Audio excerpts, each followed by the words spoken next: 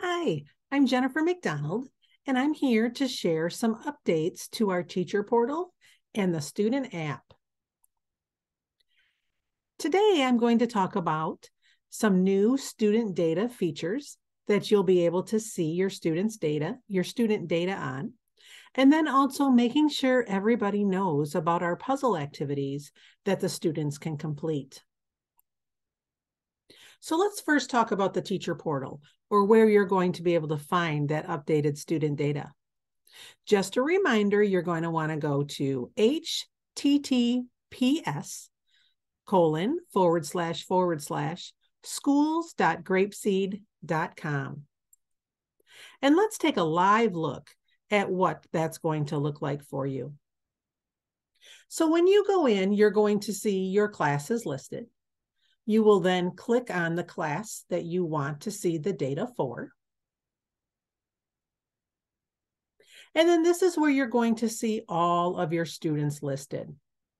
If you click on one of your students' names, you will see some of our new features. Up at the top, you're going to see the average playlist per week. You will then see a calendar where you'll be able to see if the student has completed a daily playlist on that date. If they do one playlist, they're going to get a smiley face.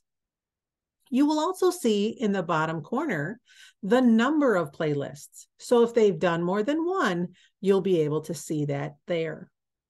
You are also able to click on the calendar icon and choose the date that you would like that data to start from. If you scroll down a little farther, you're going to be able to see the playlist time and the library time that the students completed. You can either look at it by month for January, or you can look at it closer by day. If you hover over one of the data points, you'll be able to see how many minutes they completed on that day. So this is a great way to quickly glance and see how many playlists or how much time your students have completed on the student app. The next thing I want to talk about is the puzzles that are available for the students on the student app. Just a reminder that your students are going to want to go to https colon forward slash forward slash students.grapeseed.com forward slash code. And let's take a live look here and see what that looks like for the students. So here you'll see that I logged in as Jose. Um, you can see that he is on um, the very first playlist, but I can also see that he's already completed the playlist once and gone through a second time. So this is his third time through the playlists. After a student completes a playlist, they're able to click on the unit icon at the top. And once they do that, over in the right corner, you're going to see puzzles. Once the children complete 10 playlists, and those playlists can be completed throughout units. So if they do five playlists in unit one and do five playlists in unit two, they will then complete one puzzle. The first puzzles will show up in black and white, and the second ones will show up once they've completed 20, will show up in color. So if they click on that puzzle, you will see a puzzle there that the students can complete. There are several different things that the children can do with those puzzles. If you click on the eyes, it'll make it a black and white puzzle where you'll just see the outline of the puzzle pieces.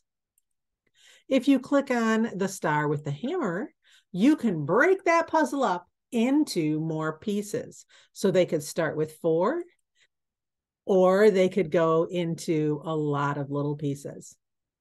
If the children is stuck, they can click on Johnny Bear and they'll put a puzzle piece in for them. So the students will need to click on the puzzle piece and then click on the spot where it, they would like it to go. Click on the puzzle piece and click on the spot where they would like it to go.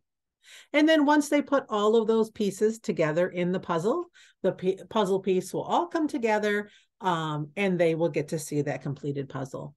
So this is a great reinforcement tool to get those children to complete those playlists, to earn those puzzle pieces, and be able to have some additional fun with the student app.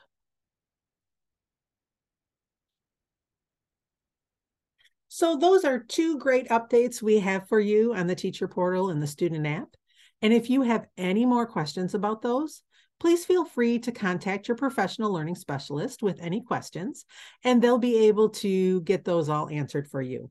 So have fun with the new pieces. We look forward to you and your students being able to utilize them. Have a great day.